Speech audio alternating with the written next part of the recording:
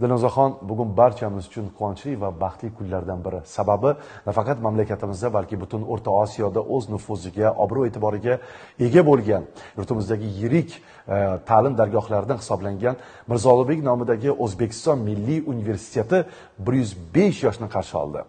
Anvar juda yam to'g'ri ta'kidladingiz. Ushbu universitet nufuzli oliy ta'lim muassasalaridan hisoblanadi va eng ahamiyatlisi ushbu nufuzini yillar davomida saqlab kelayotgan va kamiga yil davomida mustahkamlab borayotgan oliy ta'lim muassasalaridan biri hisoblanadi.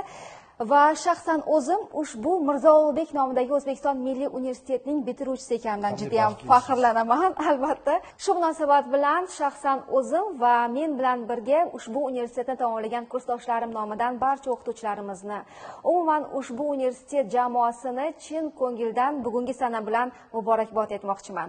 Shu fikrni ham alohida e'tirof etish joiz. Alohida aytmoqchimanki mana shu universitetni e, bitirgan har bir talaba har bir vatandosh yoshimiz yurtimizni rivojiga taraqqiyotiga xalqimizni farovonligiga xizmat qilib kelyapti va bu an'ana hozirgacha davom etmoqda. Milliy universitetni tamomlagan har bir e, o'g'il qiz aytish o'rinliki jamiyatda o'z o'rnini topgan insonlar hisoblanadi.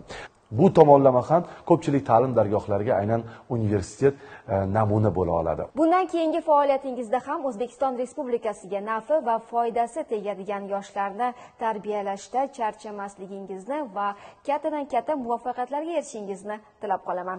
Biz yana bir bora o'zbekiston milliy universiteti professor o'qituvchilarini barcha pedagoglarni ishchi xodimlarni bugungi ulug' kun bilan samimiy muborakbod etamiz. Xususan dilnoza saidova hamda men anvar azimov qolaversa mening yurtim e, telekanal ijodiy jamoasini tabrigini qabul qiling.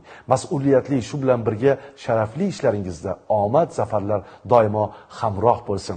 Ushbu universitetni bir yuz ellik yoshni ham nishonlash va qutlash baxti hammamizga nasib etsin. Bir yuz besh yilligingiz muborak bo'lsin.